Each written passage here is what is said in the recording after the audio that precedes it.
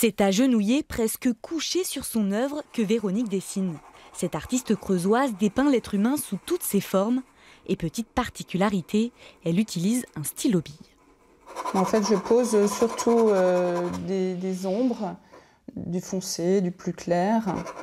Et puis, et puis euh, il se passe ce qui se passe. Il y a des, visages qui peuvent apparaître. Je choisis de, de les garder ou pas. Enfin, et j'avance comme ça. Et Véronique est une artiste complète. Dans son atelier, on trouve de tout du papier, du carton, des sculptures et même des calques, une matière qu'elle a découvert il y a trois ans.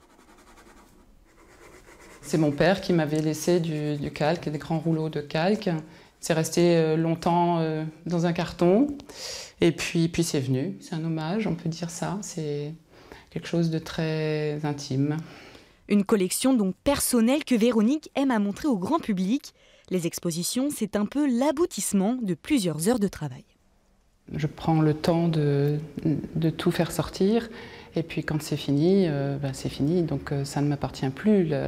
L'œuvre est terminée, elle, a pris elle-même son, son, envol, euh, elle n'a plus besoin de moi et moi j'ai plus besoin d'elle.